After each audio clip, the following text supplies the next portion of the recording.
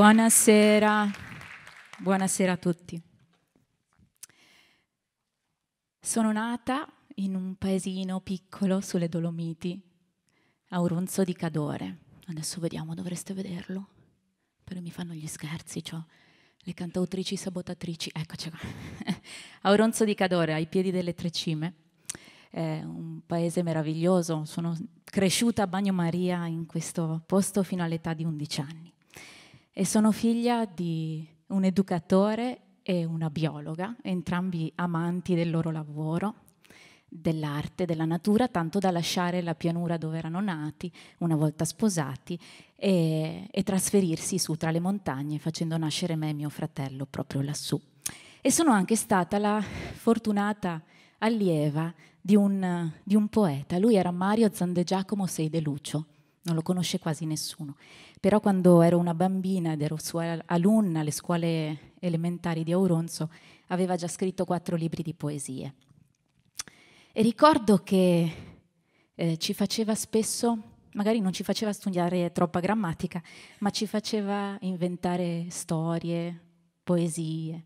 E se era una bella giornata di sole, qualche volta, ci faceva chiudere i quaderni all'improvviso, senza dirci niente, e ci portava nel bosco e lì magari ci insegnava a riconoscere la bellezza nelle ali di una libellula o nei disegni di una corteccia. Sono cresciuta con tutto questo e l'ho ricevuto in dono, in eredità. Ho cominciato a suonare da piccolissima, tanto che ho scritto la mia prima canzone Eh già, era scritto. Ho scritto la mia prima canzone a sei anni, si chiamava La bicicletta e già si intravedeva il mio spirito ecologista, a quanto pare. E da lì non ho mai smesso di farlo. Però per molto tempo non pensavo che questo sarebbe potuto diventare un lavoro. Non lo pensavo possibile. Facciamo un salto di qualche anno. Adesso sono avrò circa 15-16 anni, sono sull'autobus di linea che mi porta al liceo di Mogliano Veneto. E è una mattina d'inverno molto fredda, è una mattina che non dimenticherò più, che ha segnato la mia vita in modo indelebile. Eh, per una cosa semplice apparentemente, eh, perché a un certo punto dal finestrino dell'autobus vidi eh, vidi questo, vidi un sole, ovviamente questo non è quello di quella volta, che non c'erano gli smartphone, non potevo fotografarlo, ma insomma un sole rosso, meraviglioso, che sorgeva sopra a una coperta di nebbiolina in un bosco di pioppi e ricordo che rimasi incantata da questa visione. E poco dopo il mio sguardo scese sulle automobili che stavano scorrendo lentamente sulla corsia opposta al mio autobus, tutte imbottigliate nel traffico dell'ora di punta. Ricordo che scrutai con lo sguardo dentro agli abitacoli e mi resi conto che la gran parte dei passeggeri aveva per lo più, almeno così mi sembrava, uno sguardo triste, stanco, forse anche arrabbiato. Certo, la maggior parte di loro era pressoché indifferente allo spettacolo che stava andando in scena lì, proprio davanti a loro. E lì feci una promessa a me stessa, un pensiero molto lucido. Io da grande non sarei diventata così, non sarei rimasta indifferente alle meraviglie del mondo, così come alle sue storture. E ho anche immaginato forse quale fosse la, la giornata di queste persone, le ho immaginate magari, uh, magari stavano andando a fare un lavoro che non amavano, magari con un capo che faceva loro richieste assurde, magari passavano il loro tempo guardando l'orologio nella speranza che quelle otto ore di lavoro finissero il prima possibile. E mi ricordo che feci proprio il conto, ma se otto ore le passiamo facendo qualcosa che non amiamo, nella speranza che volino il prima possibile. Otto ore, se ci va bene, le dormiamo, poi ci sono le incombenze domestiche, la spesa. Quanto tempo ci resta per vivere davvero? E così mi dissi che cascasse il mondo, avrei fatto una cosa che mi piaceva. Così beh, non, continuavo a non sapere che cosa fare da grande eh? e quindi mi iscrissi a sociologia, la cosa che più mi garantiva di, di fare qualsiasi cosa dopo, che non sapevo cosa fosse. Ho, ho finito gli studi in sociologia e ho rifiutato due contratti a tempo indeterminato, uno in un consorzio di cooperative sociali e un altro un'agenzia assicurativa. E partì per il Sud America, per l'Ecuador, dove passai cinque mesi con le ragazze di strada eh, di Quito. Tenevo con loro un laboratorio musicale e ricordo che trasformavamo spesso in canzoni il loro vissuto, le loro ansie, le loro sofferenze. E, e, poi quando quelle canzoni le cantavamo insieme diventavano una sorta di inno, di riscatto, di rinascita. E lì mi resi conto di quanto potente fosse lo strumento che avevo fra le mani, la musica. Ricordo anche che poco prima di ripartire per l'Italia condivisi con loro la mia inquietudine rispetto a che cosa avrei fatto da grande. Continuavo a non saperlo.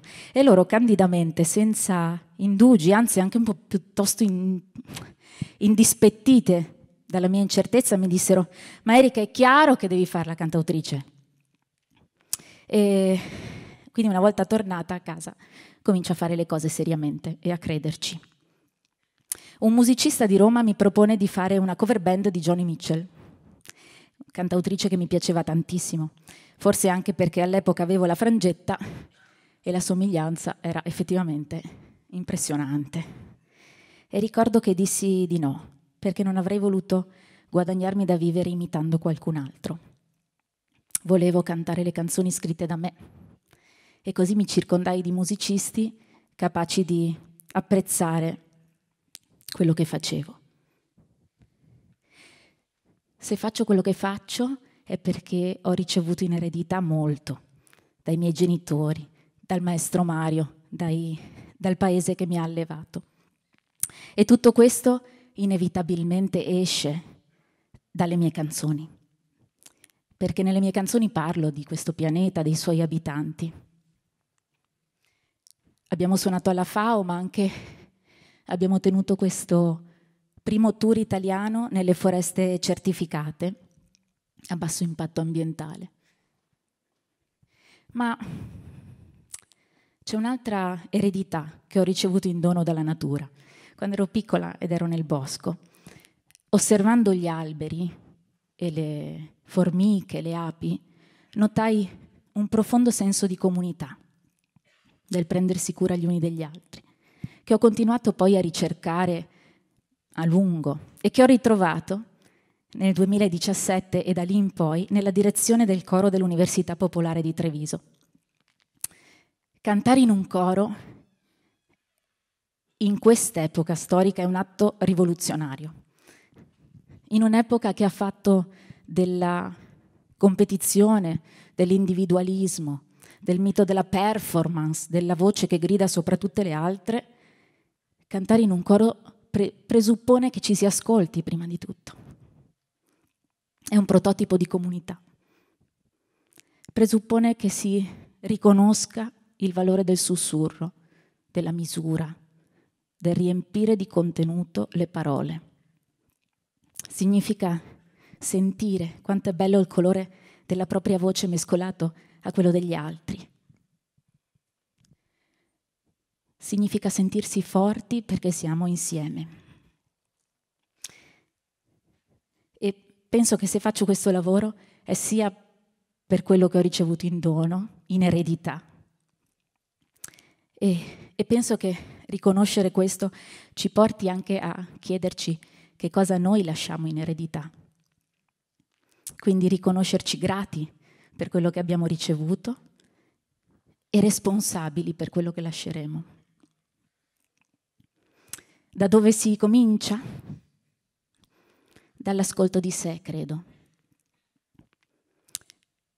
E ci si ascolta cominciando, cosa che io non sto facendo in questo momento, perché come lo sentite da respirare, da fare un bel respiro. È il primo gesto che ci riporta a noi stessi ed è un gesto che ci accomuna a tutti gli altri, agli esseri umani, ma anche agli animali e agli alberi e alle piante. Lo facciamo tutti quanti, forse potremmo ricominciare da lì. E a tal proposito voglio salutarvi, visto che avete visto gli strumenti, è chiaro che andiamo a parare lì, con una canzone che, è, che si intitola proprio Respira e che è una canzone d'amore che un albero canta a un essere umano, nonostante tutto quello che stiamo facendo su questo pianeta. Sarebbe bello cantarla insieme, se vi va. E ad accompagnarmi qui sul palco ci sono Enrico Milani al violoncello,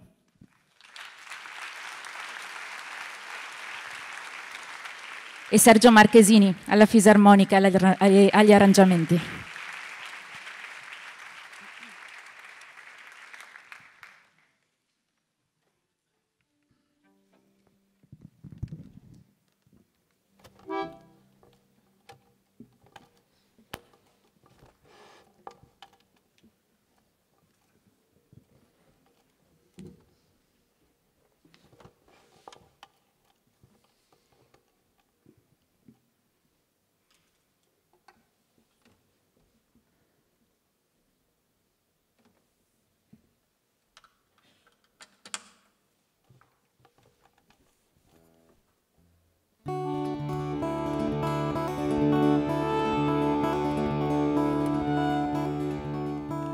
Scosta le mie foglie come fossero capelli di un amato e con gli uccelli tra le foglie canterò.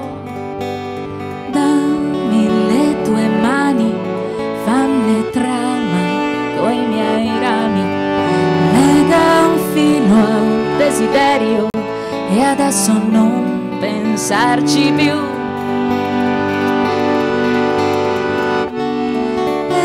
stop.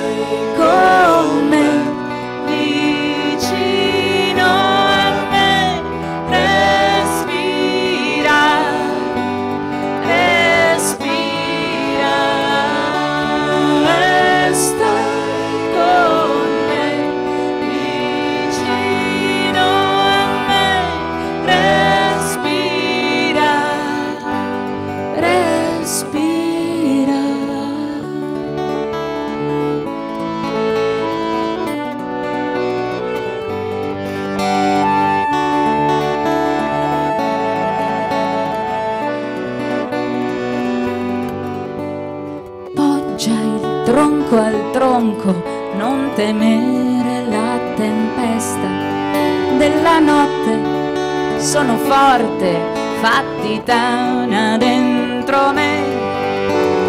Il tuo sangue è linfa, la mia linfa, le tue vene. Siamo soli, non conviene star lontani come sei.